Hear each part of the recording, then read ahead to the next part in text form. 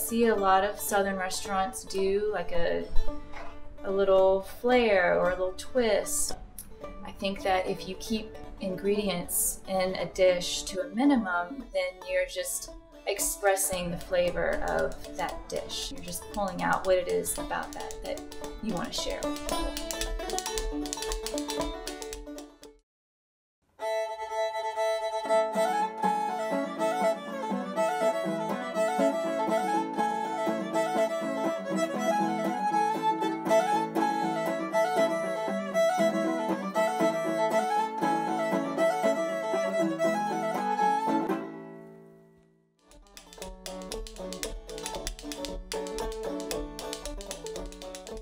I would say that's the hardest thing about owning a business is bossing people around. I'm not bossy. I don't mind instructing people how to do things, but I don't like to tell them that they're doing something wrong. I came here to go to college and then moved away, worked for AmeriCorps for a little bit. I moved back in uh, 2000. While I was in grad school, I started baking for Espresso News and really enjoying that job and realizing that I was better at that than uh, plant physiology.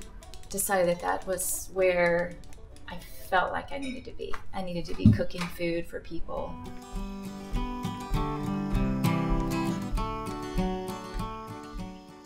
Buying locally has, has always been a thing that, that I've done here from the very beginning. I've bought from a lot of farms, local farms in general.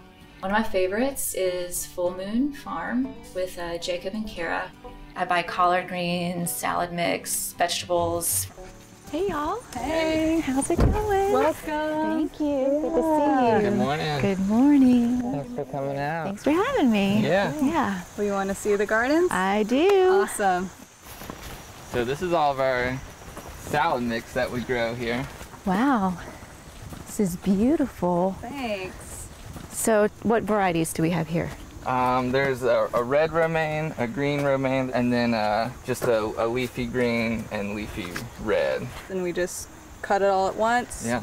Put it in a Cool. box and send it to you. Wow. It Yeah. is gorgeous. Thanks. And I hear that you plow with horses. We do. We can go get the horses if you want to see them. I would love to. Cool.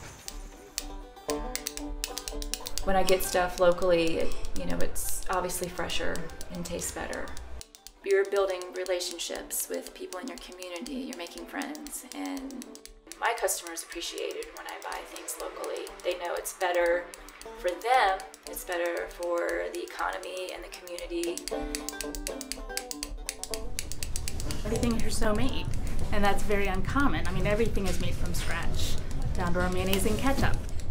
We'll get phone calls sometimes. People will ask about certain things, like people come from Tennessee because their daughter likes the tomato soup we make.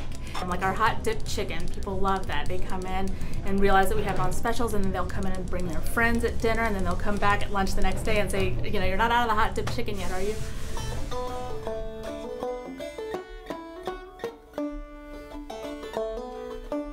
Think about like my employees and how close we are. I feel like a lot of them are close friends now because they met here and that would have never happened if they hadn't come here for a job. People have asked why wouldn't I do this somewhere else like Asheville or Charlotte.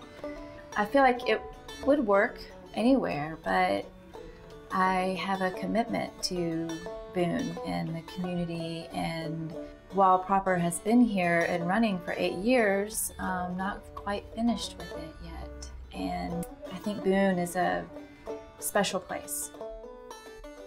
I want people to be themselves. Whatever it was that they've dealt with for that day, they can just come here, have a seat, and let us take care of them.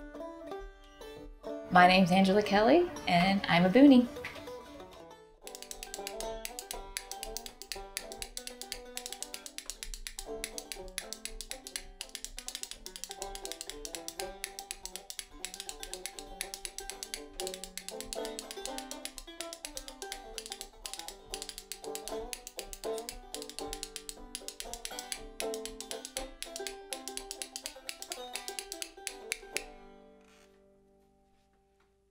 Funding for Boonies is provided in part by the Watauga County Economic Development Commission. Work and play in Watauga County, North Carolina. Above the competition, beyond belief. The ideal place to build a business and build a life. Also by First Security Insurance, protecting what matters most. For a complete list of funders and to find out more, visit www.artemisindependent.com.